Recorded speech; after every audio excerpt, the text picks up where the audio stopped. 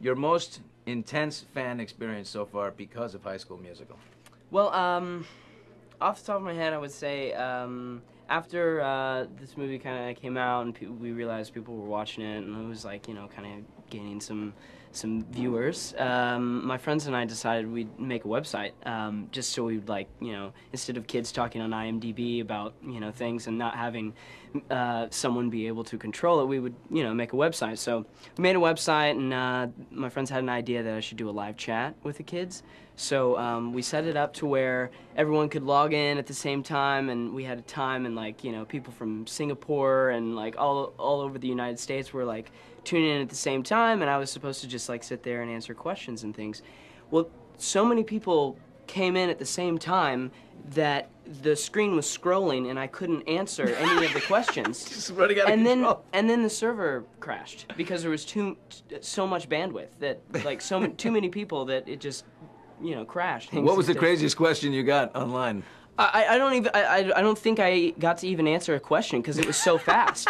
like seriously, it was like crash, and I was uh, I was talking to my friend because he was uh, you know hosting it and stuff, and I was like, "What happened?" He's like, "Dude, too many people. It crashed my server. Thanks a lot, man." I'm like, "Oh." What do you do next? I mean, have you, you do you want to act or you mostly sing? You know, when I was a kid, singing got me into acting, um, so it's always going to be a part of my life. But I don't necessarily have to do it um, as a career.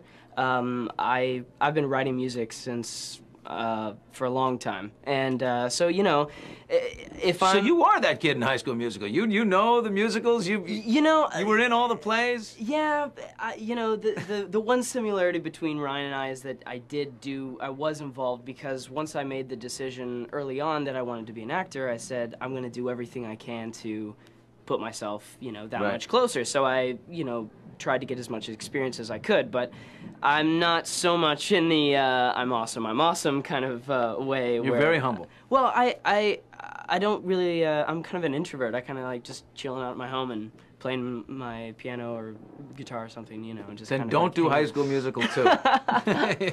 Well, uh, Your career would say do it. r- but- right.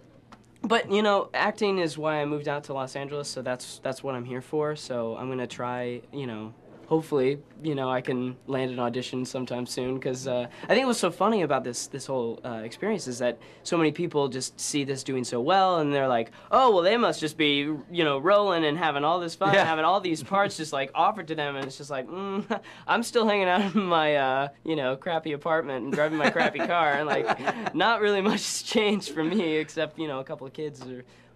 You know, but other than that, you know, it's just pretty much the same. Well, uh, I'm sure that'll that'll change. Thank you so much, Yeah, man. thank you. I appreciate it.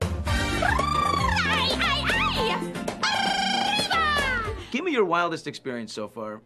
Since I mean, the Suite Life of Zack and Cody is a big hit. So Yeah. I mean, with kids. But then there's this. You know, 34 million people have seen High School Musical.